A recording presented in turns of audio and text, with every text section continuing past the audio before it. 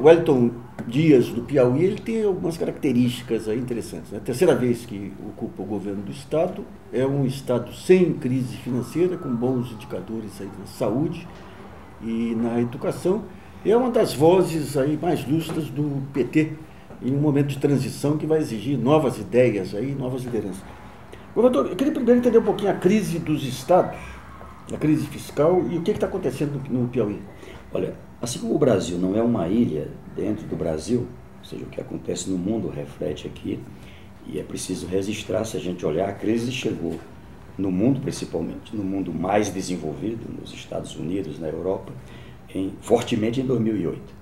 E ela veio chegar ao Brasil, é, na verdade, mais fortemente agora, final de 2014 para frente. É, por quê? Porque eu acho que a gente estava com um plano certo. Hum. É, qual era esse plano? É, de um lado, investir em dois ramos: investir nos mais pobres, que faz a economia crescer de forma espalhada. Essa foi a grande, o grande projeto é, do presidente Lula, da sua equipe, e abraçado por governadores de diferentes partidos, uhum. prefeitos, setor empresarial, enfim, do Brasil inteiro e dos movimentos sociais. O outro é trabalhar uma infraestrutura que sustenta e faz crescer a economia. Uhum. Não é só um, uma infraestrutura para o social, o hospital, a creche, a unidade básica de saúde, o luz para todos, a habitação, o saneamento, água, mas também, é, além da qualidade de vida, a estrada, o metrô, os modernos aeroportos que tem o Brasil. Hum. Olha os, o próprio estádio de futebol, olha o teatro, olha o que você tem hoje no Brasil. É, as primeiras é, linhas ferroviárias, depois de séculos sem investimentos, é, portos, ou seja, estradas, comunicação, ou seja, eu, eu acredito que é, se a gente, eu sempre digo assim, se a gente perceber, quando entra 2014 tem uma mudança. Né? Eu acho que a presidenta Dilma pagou um preço por apostar em um outro caminho. Eu era líder do bloco de apoio ao governo dela no Senado e já chamava atenção. Né? Primeiro que eu posso falar hoje, deve ter uma relação boa com ele, é um técnico competente, mas não era a mesma ideia do Brasil, o Joaquim Levy. Foi, tá entre nós, foi um desastre aquele. Fazer um pacote fiscal no meio de uma crise econômica é um... Eu acho que o, o, o economista, o doutor Deluso, quando ele foi ao Senado, ele disse, em poucas palavras, que eu acho que eu diria. De um lado, é, se ela tem um pecado, foi excesso de responsabilidade. Ou seja, fez um corte é, brutal, é, 2,2% do PIB de corte. Isso, você tem uma economia que vem acelerada e dá um freio, não é daquele, você está a 180 por hora e dá um freio brusco. Claro que dá derrapada, claro que é, arrebenta o veículo, o risco de capotar como capotou, hum. ele é gigante. O outro é, ponto que eu acho que a gente tem uma situação não controlada. Eu posso falar isso aqui porque meu partido também ajudou nisso. É um sistema em que é quase impossível o controle das despesas de custeio e de folha. Hum. Veja, o Piauí tem zero dívida com a União. Eu tenho como controlar a dívida, tá certo? Agora, como é que eu controlo? Nós temos um déficit na Previdência, isso é real. Isso que eu estou defendendo tudo é o PT. O PT não pode só, sou contra a reforma. Não, eu posso até melhorar, aperfeiçoar, mas eu tenho que ter uma proposta. Claro, claro, claro. Tá certo? Eu tenho que ter uma proposta. Eu não posso, no século XXI, dizer que não mudou nada desde o Getúlio Vargas para hum. cá. Desde que foi criado o INSS para cá. Ou seja, há uma necessidade de mudanças. Nesse sentido, é, o que nós tivemos foi uma queda na economia e os estados mais endividados, por isso que eu defendo o alongamento da dívida, que beneficia São Paulo, Rio de Janeiro, Minas Gerais e Rio Grande do Sul. Esses quatro estados aqui, de 55 bilhões do esforço fiscal, ficam com próximo de 50 bilhões Tá? Aí os outros que fizeram o dever de casa, aí está o Piauí, Norte, Nordeste, Centro-Oeste. No Nordeste tem um, uma dívida maior, Alagoas, que é dentro da Nacional é pequena. Mas assim, é, desses 55 bilhões, 20 estados 9, fica com 5 bilhões, 9%. Hum. Então, daí que a gente colocou, olha, é, primeiro, a receita partilhada com a União, e esse é o motivo do desequilíbrio, a economia cai, a receita da União cai, o fundo de participação, e aí desaba. Eu cito um exemplo do Piauí, mês de agosto, fizemos um esforço gigante de atrair investimentos. É, eu estou nesse instante em São Paulo para uma reunião com a Câmara do Comércio Brasil-Japão para levar japoneses, aí nós temos empresários do Piauí e do Japão, para investir no Piauí. Hum. Porque como é que eu saldo da crise? Com crescimento. É. O ano passado tivemos crescimento, esse ano vamos ter crescimento no Piauí. O ano passado não perdemos emprego praticamente. Quer dizer, por conta da crise nacional, as obras federais pararam, o programa de energia, programa Minha Casa Minha Vida, ou seja, a construção civil especialmente desabou, perdemos cerca de 120 mil empregos mas nós geramos 120 mil empregos. Em quais setores? Na área da agricultura, nessa área da própria indústria, hum. é, na área relacionada à irrigação, mineração, energia solar, energia elétrica, hum. né, as eólicas, né, ou seja, há, e no comércio, na área dos serviços, de modo muito forte. Então, veja, o que eu estou colocando é que, no meu estado, a receita é partilhada. Metade da receita é aqui eu tenho um controle, a outra metade é o ministro da Fazenda e a Receita Federal do Brasil não tem como atuar em nada ali. Bom, a nossa receita cresce 15%, a outra desaba 17%, você tem queda livre. Então, uhum. todo o esforço que você faz é anulado por conta disso. Então, o que, que nós fizemos? Foi feito um estudo pelo Tribunal de Contas da União que mostra, primeiro, tem dinheiro dos estados represado. Lei Candi, ou seja, uhum. os estados exportam, nós estamos crescendo nossas exportações, para incentivar a exportação, que é bom para o Brasil, é, nós não cobramos ICMS.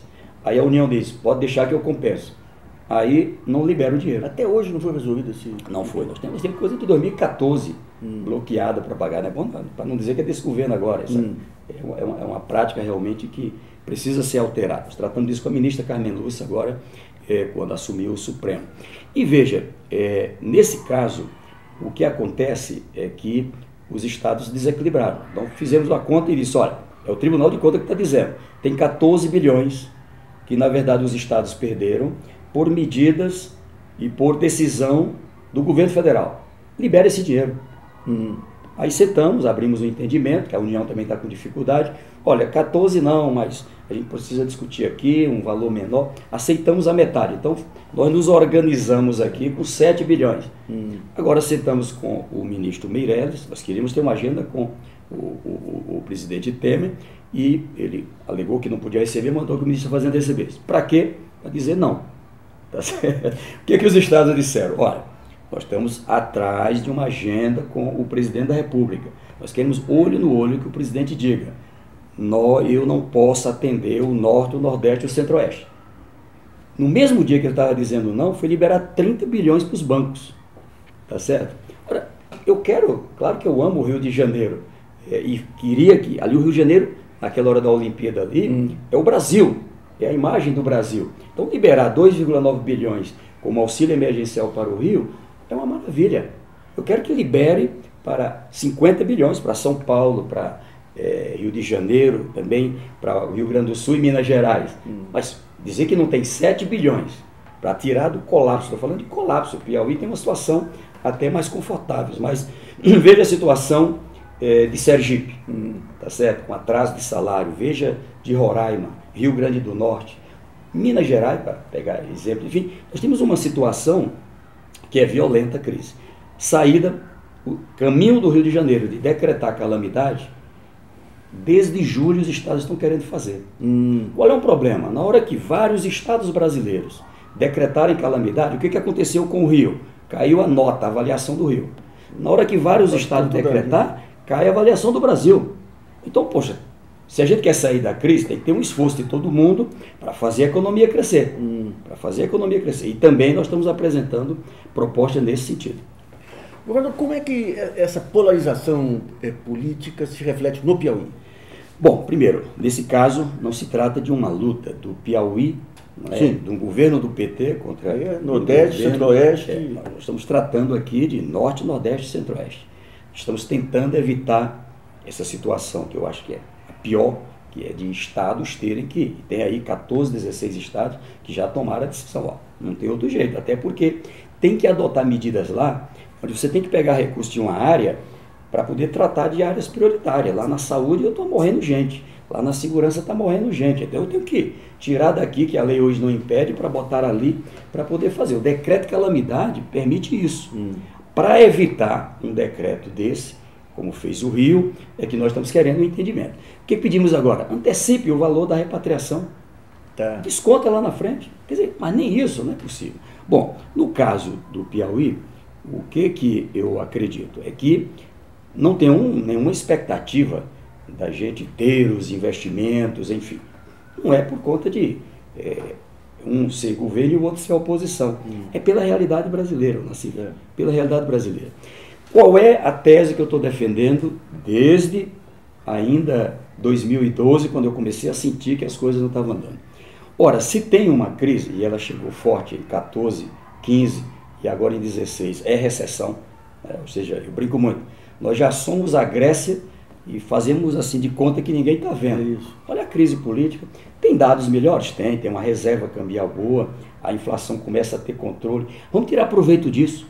Vamos tirar proveito disso. Qual é a proposta então? É a saída que outros países fizeram. O que, que eh, se fez nos Estados Unidos quando aquele chegou em 2008? O Obama é o país mais endividado do mundo, vai ao Congresso e diz: Eu quero autorização para endividar mais. Claro. Eu quero 400 bilhões de dólares. Tá certo? E conseguiu. É maneira de reativar a economia e aumentar a receita. Então, e se não é o setor público, quem dá o primeiro passo? Setor privado? Não tem perigo. Então, o que, é que eu propus? Naquela época que eu propus, a dívida, a dívida da, do, da, da União era 58% do PIB. Eu propus o seguinte: olha, ela vai, à medida que a economia cai, a receita cai e a proporção da dívida em relação ao PIB sobe. É. Ou seja, a dívida na proporção do PIB vai subir de qualquer jeito. Vai subir porque a taxa Selic é, é, é, é um crime, né? é uma violência como se faz. De novo, desde a época do ministro Joaquim Levy. Ou seja, eu tenho inflação de 6, eu subi para 14 a Selic, isso não existe em lugar nenhum do mundo. Ela é no máximo 2% da, da, da, da, da taxa, a taxa de juro baixo é no máximo 2% da inflação. Se a inflação hoje está em 8, ela é para ser 10. Se ela está em 10, é para ser 12. Você entende? Então, é uma coisa escandalosa o que nós temos no Brasil. Resultado, eu vinha conversando com o senador Lindenberg. O país não é que pagava 250 bilhões de juro, passa a pagar 500 bilhões de juro. Então, não adianta agora de CPMF vir aqui com 80 bilhões, não adianta. É, uma, é, um grão de areia no meio disso tudo. Foi isso que desequilibrou a União, desequilibrou os estados e desequilibrou o setor isso, privado. Isso, isso. Essa é que é a verdade. Então o que, é que nós estamos defendendo? Primeiro, 3% do, do PIB de crescimento da dívida planejado. Isso dá 180 bilhões. Para quê? Para tocar as obras que estão paradas Começa pelas obras espalhadas por os 5.600 municípios, é uma unidade de saúde, é um calçamento, é uma água. Isso aqui é para poder gerar emprego. Gera um milhão de emprego se a gente fizer isso. Tá certo? Dois, as obras estruturantes que faz a economia crescer. Então a primeira 30 bilhões, a outra 30 bilhões. Hum. Então é, aquilo que tem de PPP, é, é, ferrovia, rodovia, porto, aeroporto, não é? ou seja, comunicação, aquilo que cai o custo do Brasil e permite um crescimento. E ter 60 bilhões é, para um ano dessa forma, 60 bilhões para o ano seguinte, 60 bilhões para o ano seguinte. Eu acho que só isso já encoraja é, o setor privado. Quando o setor privado vier, e aí outra coisa que o Brasil não está atento, Nassif, no meu Piauí, nesse instante, tem 62 bilhões de reais na carteira de investimentos privados. Aguardando o quê?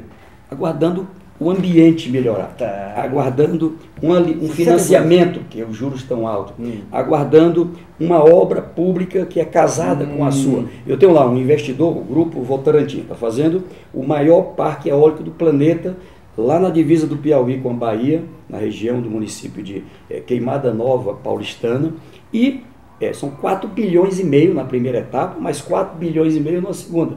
O que é que ele precisa ter segurança? É que vai ter uma linha, não é que era até a Bengoa, aquela hum. empresa francesa que quebrou, hum. é, que terminou é, atrasando essa obra, para fazer a conexão.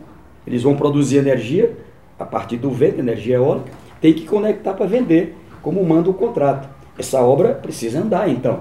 Então tem que ter investimentos públicos casado com investimentos privados para garantir as condições não é, de você ter a circulação de dinheiro. Aí não, são, não é um milhão de empregos, aí vamos gerar dois, três milhões de empregos. Que é que eu, qual é o meu raciocínio? Se a inflação cai, a taxa Selic é, vai se adequando à inflação. Se nós temos um colchão de reserva confortável, se nós temos o CAGED dizendo que o emprego foi positivo, o emprego foi positivo, a balança comercial está subindo, o câmbio está num patamar bom, todo mundo se anima de novo. Quem dá o primeiro passo? O setor público. Aí diz, ah, mas com esses juros, como é que vamos fazer? Apresentamos também uma outra alternativa. O Brasil já enfrentou seu pior momento com um colchão de reserva de mais ou menos 350 bilhões de dólares. Então tá, essa aqui é o patamar, assim como na inflação em torno de 2%, a Selic hum. a mais, aqui também 350 bilhões de dólares como o patamar mínimo de reserva. O que ultrapassar disso, tira e paga dívida, abre um espaço para hum. captar lá fora mais recursos em moeda estrangeira, porque lá fora? Porque enquanto o juro aqui dentro, o banco para uma indústria, para o Estado, para quem quer que seja, está cobrando 15, 16% ao ano, lá fora a gente consegue pegar dinheiro e está farto a 2%, a 3%, no máximo 4% ao ano. Só risco câmbio. 3, 4% de carência, a garantia de 15, 20 anos de pago para pagamento e se aplica um RED, aplica uma taxa cambial. Tá. tá eu, tenho, assim eu tenho um empréstimo com o Banco do Brasil, que o Banco do Brasil captou lá na França o dinheiro, hum. e nós estamos aplicando no Piauí. Tá certo? Pagando um RED, pagando uma taxa da variação cambial. Hum. Vale a pena? Claro que vale a pena. Por quê? Porque primeiro nós vamos ter, nós vamos ter mais nós temos uma aposta que vamos ter mais estabilidade.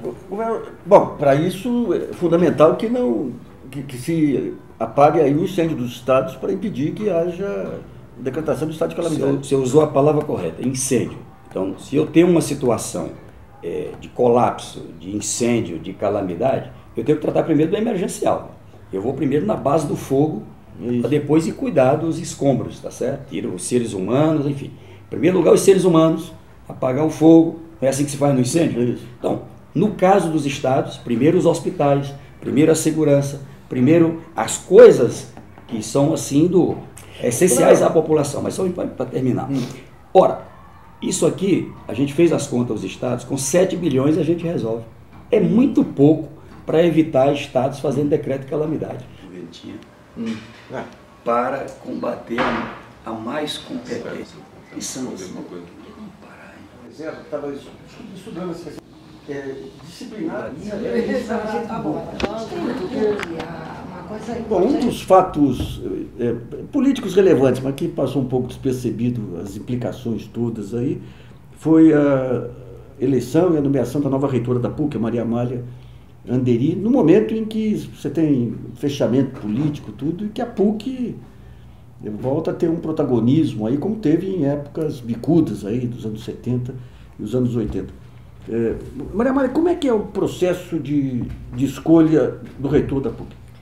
É, o processo de escolha do reitor da PUC envolve, num primeiro momento, é, uma campanha e uma escolha interna. Professores, alunos e funcionários votam. O voto de cada segmento vale um terço. Então, é uma eleição paritária por segmento. O Conselho Universitário, então, faz uma lista tríplice que respeita o resultado é, da consulta à comunidade e essa lista tríplice é enviada ao cardeal, que é o, é, é o chamado grão chanceler da universidade. Uhum. O cardeal faz, então, a escolha a escolha envolve uma nomeação do cardeal e uma consulta e uma, uma homologação da Santa Sé, ah, tá, tá. do Vaticano. É, por isso é uma universidade pontifícia, o que significa que o pontífice, a Santa Sé, o Vaticano tem aí algum Todas as poder. PUCs são assim? Todas as PUCs é, É. têm essa, é, essa passagem, digamos assim, pelo Vaticano. Tá. E e dentro, dentro da, da, da PUC, como é que se comportam os diversos departamentos lá? Porque tem departamento forte de economia, administração. Minha filha se formou lá com muita. A PUC é interessante porque é, o, você está perguntando como se comportam politicamente, né?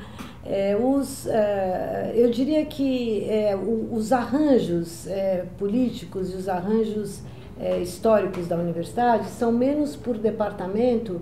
A gente percebe muitas, é, muitas é, relações interdepartamentais em questões como essa, né? como a eleição para reitor. Então, vou te dar o exemplo da, da minha escolha agora. Né?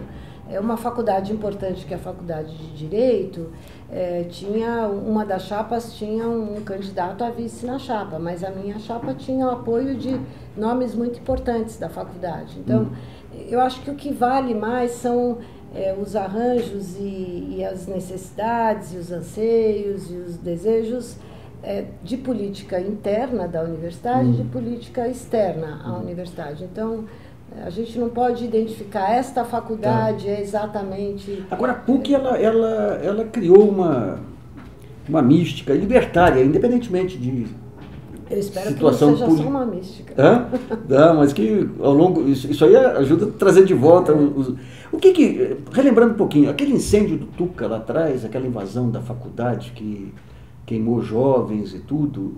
E aquilo lá de alguma forma foi apurada com o tempo? Então, é, são, são dois fatos diferentes. Né? É, a PUC, nos anos é, 70, e pri- a primeira coisa que eu acho importante dizer é o primeiro reitor eleito de universidade brasileira foi da PUC. Olha só. Foi a dona Nadir Kifuri, em 1980. Ah, ela que enfrentou aquele É, tiroteio todo, E né? foi ela que enfrentou aquele tiroteio. Erasmo. E o Erasmo Dias invadiu a PUC em 1977.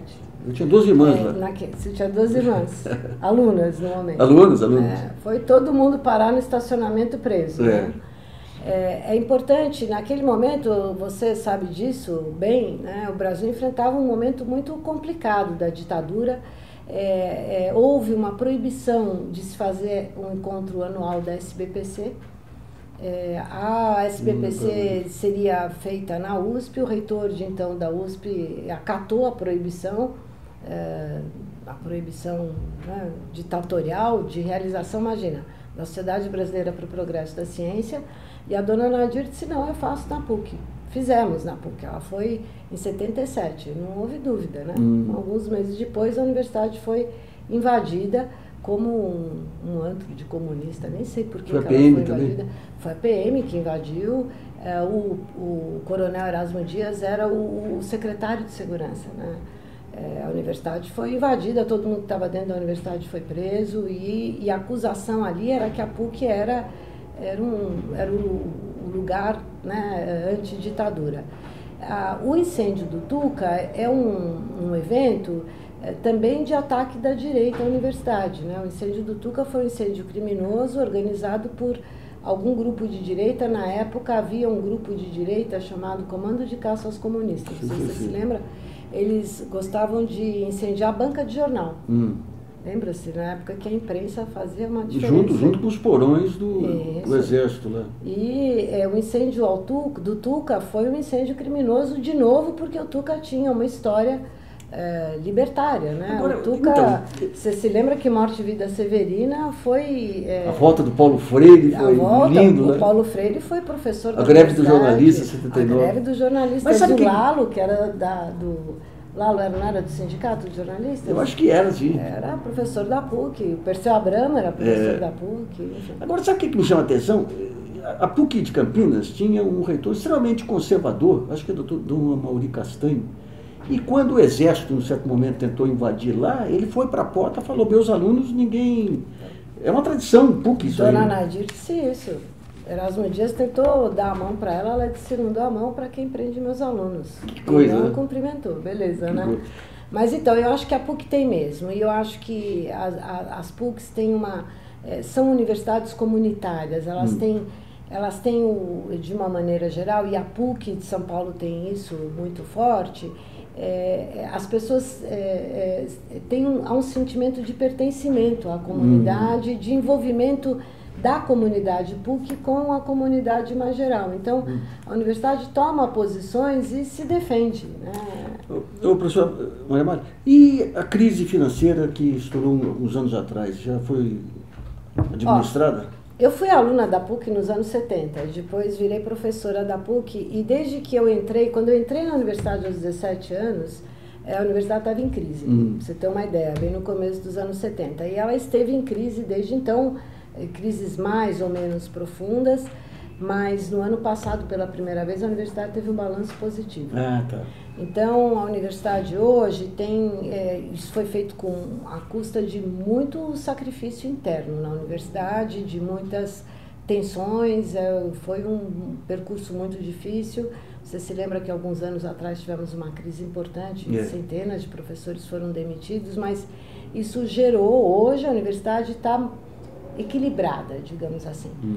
O que é importante, porque significa que a gente pode voltar a crescer, voltar a investir é, academicamente. E como que conseguiu, né? com toda essa crise aí, preservar em, em vários departamentos, psicologia, administração, direito, jornalismo, preservar a qualidade? Como é que... Então, porque eu diria que se precisar economizar, se economiza na pintura, nas tá. cadeiras e, e menos espera-se é, é, na, na relação e, e na, nas condições de trabalho dos professores. Embora é, haja hoje uma, é, um problema na universidade que a gente tem que enfrentar, que é o problema de é, retomar o sistema de promoção na carreira. Hum. Né? Então, é, foi feito essa, esse esse arranjo aí para tirar a universidade da crise significou inclusive é, algum sacrifício por parte dos docentes, mas não no sentido de é, transformar os nossos docentes não são horistas, eles têm contrato de trabalho hum. por tempo contínuo. Nós temos uma carreira que está relativamente é, cerceada hoje por falta de recursos para promoção, mas existe uma carreira. A universidade tem é, tem é, recursos e aplica hoje alguns recursos incentivo à pesquisa, hum. porque a ideia é, e eu sempre defendi isso, a PUC não pode perder, de um lado, o compromisso dela com é, a cidade, com o país, com a construção de um país diferente, menos desigual, mas ela também não pode perder o selo de qualidade acadêmica, porque nós é nossa única, nossa única moeda de troca, é. né? São, são essas. Esses são os dois lados da nossa moeda. O ProUni, como é que vocês eh, se encaixaram? A PUC tem ProUni, nós temos perto de 20%, 20 dos nossos alunos são bolsistas, quase 20% hoje. São bolsistas Fundasp ou ProUni. E a, a Fundasp, que é a mantenedora, as bolsas são dadas com os mesmíssimos critérios do ProUni. Hum. E fez toda a diferença na PUC. É. O ProUni, em primeiro lugar, faz toda a diferença porque é recurso para a universidade. Eu sempre digo isso para os nossos alunos pró-unistas. Vocês não devem nada para ninguém. Porque a universidade está tá recebendo recursos com um aluno de ProUni. Né? Então, até fez diferença financeira para a universidade. Hum. Agora, fez toda a diferença em termos de inserção social, é, de trazer para dentro da universidade grupos que estavam excluídos da universidade. E faz diferença. E como é que os alunos receberam? Olha, é, tem uma conversa de que os alunos de ProUni, inclusive, reclamam ou reclamavam, acho cada vez menos, é, de, é, em alguns cursos, em algumas situações, se sentirem até mesmo como alvo de preconceito. Hum. Mas eu diria que hoje eles são, e a gente faz questão, e esse é um, para mim, é uma, um, era um é e será um, é um alvo da campanha. Né? A gente pretende que os nossos alunos de ProUni, eles são, eles são alunos da PUC. Eles trazem muitos benefícios para a universidade. Eles, nosso acompanhamento acadêmico deles é que eles são tão bons alunos quanto os nossos alunos que entram pela via do vestibular. Eles trazem uma experiência única para a universidade. E uma garra. E eles trazem uma garra enorme e eles trazem a experiência da diversidade. Tá. Isso é importante para a universidade. Eu lembro uma vez, quando estava esse debate se devia ser cota racial ou cota social, que um professor da USP ele trouxe um argumento central aí para a cota social com viés racial. Então, o fato de você trazer o negro para a universidade, você já está é, criando as bases para a tolerância. Exato. Então, no primeiro ano você cria o shopping, no segundo Isso. ano... Trazendo, e trazendo as classes populares para a universidade, você traz né, a, é, exatamente isso, a tolerância e a experiência é, da diversidade, porque a verdade, é, a PUC hoje está fazendo 70 anos, né, esse ano. É, quando a PUC foi criada, o Brasil tinha 25 mil estudantes universitários. Que coisa. Hoje o Brasil tem 7 milhões e 300 mil estudantes universitários. Hum. Esses é, 70 anos, especialmente os últimos 50 anos, falta muito ainda. Há muita inclusão para ser feita na universidade brasileira, mas muito foi feito, hum. né? especialmente nos últimos 12, 15 anos, né? hum. que dobrou o número de estudantes universitários. E aumentar o número de estudantes universitários é aumentar exatamente a experiência da diversidade racial, da diversidade social, da diversidade de, é, é, de gênero, da diversidade. É, são muitas as.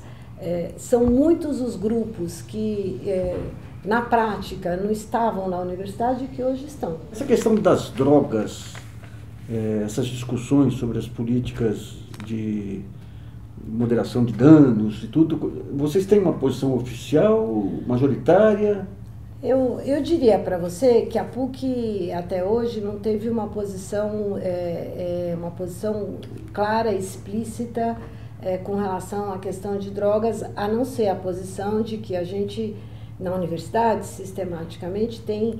É, a universidade não tem uma posição é, é, policialesca com relação a drogas. Hum. Né?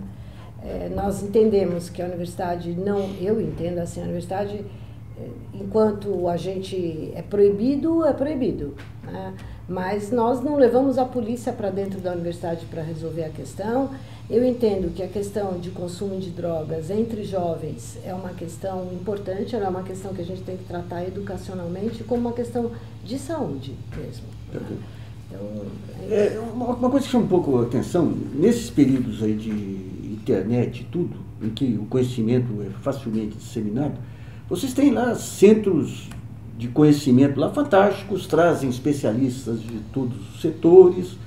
E tem uma TV PUC. Por que, que usam tão pouco essas ferramentas para disseminar? boa pergunta. Boa pergunta, nós vamos mudar. É? vamos mudar. Eu, eu concordo completamente com você. A PUC é, tem, tem tudo para é, se comunicar e comunicar o que faz de uma maneira muito mais eficiente e abrangente do que faz, né? Hum. muito mais extensa. É, a universidade é difícil, mas a universidade é, é, ela é grande, ela é lenta, ela é devagar, ela, mas a gente vai mexer nisso. Né? Hum. A gente tem a TV PUC, a gente tem uma coisa chamada Rede PUC, que é uma rede interna de TV, nós temos uma editora nós temos é, é, um setor inteiro de informática com páginas. Capacidade de estudos de inter, interdisciplinares. E nós temos isso do lado, digamos, é, do, dos, dos outlets né? de comunicação. E temos a produção de conhecimento, né? Isso. Então a gente precisa aprender mesmo a comunicar. Porque o que a gente está vendo aqui, você tem um vácuo hoje no país aí, é aquele vácuo que precede uma nova ordem aí, né? Que os partidos políticos dançaram, até os diretórios acadêmicos hoje estão pulverizados e o sistema político eh, institucional está perdido. é um momento para ocupar espaço com debates, com novas ideias. Aí. Você sabe, né? A PUC sempre se saiu bem em momentos de crise, isso, eu tenho isso. dito isso. Né? A PUC é uma universidade que primeiro aprendeu a conviver com as suas crises internas, aprendeu a conviver com a dificuldade, e é uma universidade, aquilo que eu disse no começo, comprometida com um país mais justo, com um país mais solidário. Né? Então eu tenho certeza que nós vamos fazer diferença. Na minha campanha eu dizia isso, nós temos agora uma janela de oportunidade. A universidade tem que se abrir para a discussão, é, o que não significa ser neutro na discussão, né, mas significa estar aberto para discussão, para interlocução, para propostas, para e para resistência. Né? Nós vamos brigar pelo ProUni, pela defesa de universidade é, autônoma, pela defesa da democracia. Nós, a universidade... E como é que fica aí uma, a figura e a imagem da, da, pessoa mais marcante da minha geração, da sua geração, que é o Dom Paulo Evaristo Arnes? É Dom Paulo, essa semana está fazendo 95 anos. É o inesquecível, é o inesquecível. inesquecível. É. É, Dom Paulo é uma figura exatamente o que você diz, né? inesquecível. É sorte do país que teve e da instituição igreja que teve uma figura como Dom Paulo. Né? É, ele é um. Dom Paulo, junto com Dona Nadir, que foi a reitora do Dom Paulo, digamos assim, é. né? É, eu acho que marcaram de maneira para usar uma palavra complicada, indelével a universidade. Isso, né? É isso. A PUC, é, ela tem a cara do Dom Paulo até hoje, tem a cara da Dona Nadir, e acho que a gente tem que honrar isso. Né? O Dom Paulo ensinou para a universidade exatamente, ele dizia isso, eu quero uma universidade democrática, eu quero uma universidade que lute, é, que tenha é, é, que, que, tenha partido, não no sentido de partido político, aquele que a gente vota na eleição, mas partido no sentido de compromisso. Né? E esses são os nossos compromissos. Nós vamos, eu acho que temos que honrar a memória do Dom Paulo, né? a memória simbólica. Uma vez escrevi um perfil sobre ele, no, nos comentários entrou um leitor dizendo que estava preso lá atrás. Dom Paulo foi até a prisão para ver o que estava acontecendo, passou por ele e falou, tenha coragem, meu filho. Ele falou, essas, essas palavras me mantiveram vivo até hoje. Um, é dois, é três, é quatro, é cinco. Ah, ah.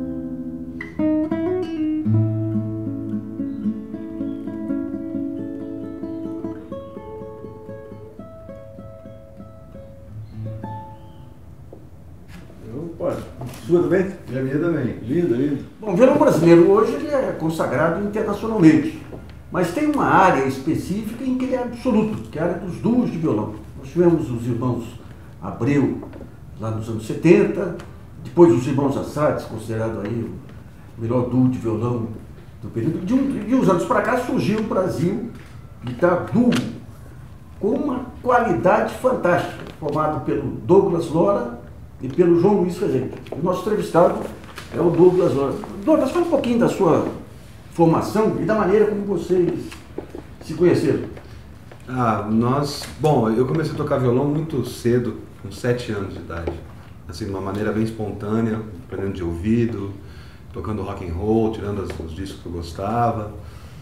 E ali, um pouco mais pra frente, com 15, tomei a decisão de estudar, de entrar na faculdade de música. Qual? Já foi na FMU, na FAAN, Tá. é, particular. E aí, naquela época você tinha duas opções, ou você fazia guitarra jazz ou violão clássico. Hum. né? Uma coisa que eu acho assim, um absurdo até aqui no Brasil, né? Ter. E, bom, mas enfim, fui, fui escolher o violão clássico, porque eu gostava muito de tocar violão, apesar de tocar guitarra na época, mas eu gostava do, do, do dedo, da corda de nylon, né? do som do bojo, do violão no peito. assim. E fui estudar com o meu professor, o Floriano Rosalino, foi o primeiro professor. Floriano? Foi. Ah, professor Floriano. É, ele morava lá em Atibaia nessa época. Eu fui estudar com ele. Ele me levou para tocar meu primeiro concerto, ele começou a me ensinar a ler música. Era o Floriano que tocava uma, uma peça uruguaia que era a, a cópia, o, o hino nacional brasileiro era a cópia dessa Ah, peça. acho que tinha uma coisa assim. É, uma coisa assim. Ele, eu fiquei pouco tempo com o Floriano, assim, mas foi muito intenso. É. Ele começou a me dar os fundamentos teóricos da, da Ah. música, que eu já sabia ali, tudo de é, instinto. E ele começou a... E me preparou, me preparando para entrar no vestibular, para estudar com o Henrique Pinto. Ah, tá. Foi, então eu comecei a ler os livros do Henrique, foi o objetivo era eu estar pronto para estudar com o Henrique, entrar na, na- passar no vestibular e fazer com o Henrique. E foi o que aconteceu, graças a Deus, consegui. E aí eu conheci o João lá, Tá, tá. Aluno do Henrique também. aluno do Henrique O também. Henrique é. Eles, é, sabe, são os grandes nomes aí da, Sim, pô, acho que na, do ensino, né? é, na pedagogia do violão, o Henrique. Conta um pouquinho, como é que era o, o método do Henrique de ensinar? Era, é isso, é, é você, você tem uma, uma metodologia muito sólida, assim, no sentido de, de- dos fundamentos que você vai passar para o aluno, mas sem estar preso né, dentro de uma fórmula que, que a pessoa acredita que vai funcionar para todo mundo. É, eu já vi muitas, muitos jovens assim tocando com a mão toda torta, porque o professor tocava assim na escola lá do, do Dylan Green, do Segovia, e era assim. E o Henrique nunca foi. Eu, eu lembro de eu chegar no Henrique com muitos vícios de guitarrista Hum. e ele sempre fazia coisa assim, é, é, fa- fazia eu consertar a minha posição, mas de uma maneira muito sutil para que não me travasse. Assim, né? Pra que- tá, tá, tá. Então foi sempre um. E a escolha do repertório para cada aluno sempre foi diferente. Você não via, lá na faculdade naquela época tinha um monte de aluno lá. Você não via dois alunos tocando a mesma música. Ah, né? tá, tá, tá. Era. Então ele é um cara Sabe muito. a aula, a aula do Henrique era, era, era na faculdade? Era na faculdade. Ah, tá, tá, tá. Era, o, era o curso de, de bacharelado em violão. Hum. E o Henrique era o, era o professor, né? Então a gente tinha aula particular com ele uma, uma semana, a gente ia até na casa dele, ele não gostava de dar aula na faculdade, não, ali a gente ia na casa dele. Hum.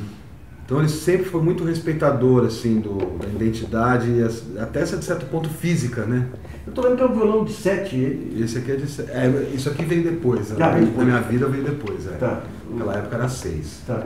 E o repertório que te encantava de, de início, qual que era? Pô, eu já começava a tocar umas coisas do João Pernambuco, que eu já nem toco há muitos anos, né? Mas foi esse repertório do, do violão, assim. Claro, depois de você passar pelos estudos, né? Do Carcaça, do Solo, Juliano, aquelas coisas que, que botam sua mão no lugar. Depois eu comecei para procurar esse repertório. O duo é um casamento É. complicado aí. É. Tem, que ter combinado diariamente aí. Como é que foi essa? Pô, fomos, serão 20 anos ano que vem. 20 anos? 20 anos. A gente começou com 18. É, eu, eu tinha 18, ele tinha 17. é. E aí foi, foi muito natural, sabe?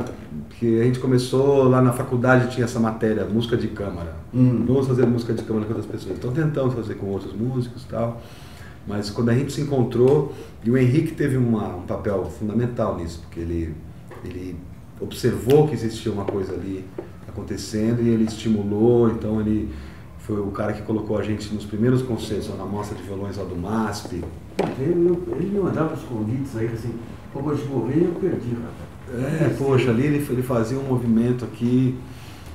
Então ele foi um, um grande responsável pelo duo, e, mas quando nós começamos foi uma coisa muito natural, a gente não tinha essa. A gente não achava que ia ser um duo profissional. Não, vamos tocar junto. Mas foi aí, juntando o repertório, aí nós fizemos um concurso lá no Souza Lima, Hum. e aí nós ganhamos o concurso e ganhamos uma gravação como prêmio. E é um CD que, que é independente, que, que nem tá, nem tá aí. né? Agora, o grande salto de vocês foi Estados Unidos. Isso, é. Isso, isso veio muito tempo depois, sabe? Hum. Porque nessa época aí, no começo, também a gente tocava só música clássica, só repertório clássico. Hum. E aí, aos poucos, eu comecei a colocar minhas composições, o João, os arranjos dele. E aí, é, o, o, o Conselheiro Escudo foi em 2006 que nós ganhamos. Hum. O que, que era esse concurso? Esse concurso é um concurso que existe desde os anos 50, que é aberto a todas as é, categorias de instrumental, vocal, tem piano solo, tem quarteto de saxofone, Hum. tem solista de violino, tem tudo, é tu- não tem categoria. É, e aí, pô, pouquíssimos violonistas ganharam esse. O Manuel, Manuel Barreco foi um. Que, pô, né? Os Catona, do Catona, não sei se você Não, conhece esse eles. não. É, são húngaros. E o outro foi o, o Bill Kanengeiser, do Los Angeles Guitar Quartet. Ah, sei, sei. Se eu não me engano. E aí nós ganhamos. Então, pô, foi. Mas o Los Angeles, tá- eles tinham muito, muita peça do Jacó, não tinha não? o O Los Angeles? Ah, é? É. É, eu acho que sim. Eles eles estão tocando aí um concerto do Sérgio Assad, que Ah, escreveu para eles. Olha né? só. Viu? E esse concurso, o que que... Aí esse concurso era assim, é, eu tive contato com esse concurso porque eu morava em Miami nessa época. Hum. E a gente mantinha o duo. É, Eu viajava sempre para cá, levava o João para lá. Vocês um levaram as peças do Vila Lobos ou a partir do concurso que vocês gravaram? Do Vila Lobos? Vocês não gravaram integral do... do- Não, do Vila Lobos não. A gente gravou a integral do Léo Brauer, Hum. do Castelnovo Tedesco. Mas o concurso não, não- não- não- permitiu uma excursão dos Estados Unidos e a possibilidade de gravar... O concurso permitiu. Bom, o, prêmio do concurso era o agenciamento dessa empresa, Tá. né, do Conselheiros Guild, que eles agenciam. Então Tá. eles, eles têm essa, essa reputação. Assim, os grupos que ganham o concurso três ou quatro ganhadores por ano. Depende, Uhum. eles não têm uma regra. Ah, tá, tá, tá. E eles ficam com, com o Conselheiros Guild e o Conselheiros Guild abre as portas assim, para a carreira no mercado americano, principalmente. Tá. E cara, e os autores hoje mais consagrados, o Léo Brau, quando que o Léo Brau chega no, em, em vocês aí, no repertório dele? O Léo Brau chega na vida de qualquer violonista em algum momento. É. Né? Na minha chegou cedo, porque desde o início já tem aqueles estudos dele. Você toca, você está começando os estudos sensílios, né? Ah, tá, tá. E aí depois tem as peças mais complicadas tal. E o, a gente teve uma relação com o Léo Brauer muito legal recentemente. Primeiro que nós estreamos uma peça lá dele, Hum. para dois violões e dois cellos. Hum. E quem foi tocar o cello foi eu e o Mar. E o Carlos Prieto, que Hum. é um outro grande cellista mexicano, já, já senhor hoje em dia. E ele escreveu essa peça a pedido do Carlos Prieto para tocar com e o Mar. E eles queriam um duo e provavelmente os Assad não, não, não podiam. Não sei, eu não sei o que aconteceu. Eu sei que chegou o convite para nós. Né? Hum. Poxa, e aí. Aí foi uma coisa. E aí pintou essa oportunidade de gravar a obra inteira do, do, do, do Brauer para dois violões pela Naxos, que a gente já tinha feito com o Caçanovo Tedesco, então a gente já Hum. tinha essa experiência assim, de, de gravar uma obra desse porte, né? Que é muita coisa. Né? E é, é um violão americano. Esse aqui é o americano. Esse aqui é o americano, porque tem, tem muita gente fazendo violão de sete cordas nos Estados É? Unidos. Muita gente, por causa do choro. Ah, tá. O choro está entrando nos Estados Unidos assim, de uma maneira avassaladora, né? Tá, Todo tá. mundo tocando, querendo tocar choro. Tem gente que conhece mais choro que, que, que nós aqui, Eu sabe? tenho- Eu tenho um sobrinho que é clarinetista, não é, não é profissional não, ele trabalha no, Mas ele fez excursão lá para os Estados Unidos, a, faculdade dele liberou, Por causa do choro. Não, é, e tem gente fazendo tese de doutorado lá pelo É? choro. Então o pessoal tá lá com dedeira, com violão de sete cordas, com violão de aço. Você chegou a conhecer o Nato Lima, Luiz de Tabajara? não? Conheci. Não? Não, não conheci. Eu não Isso é fantástica. Eles foram os primeiros, acho que começaram com esse negócio de duo, né? O, É. o duo Tabajara. Mas enfim, eu estou começando aqui a trabalhar num, num repertório de, de solo. Aí tem uma música que tá, já está mais ou menos no. que ela é uma mistura de tango com choro, mas não é bem um tango, então eu vou chamar de quase tango. Vai,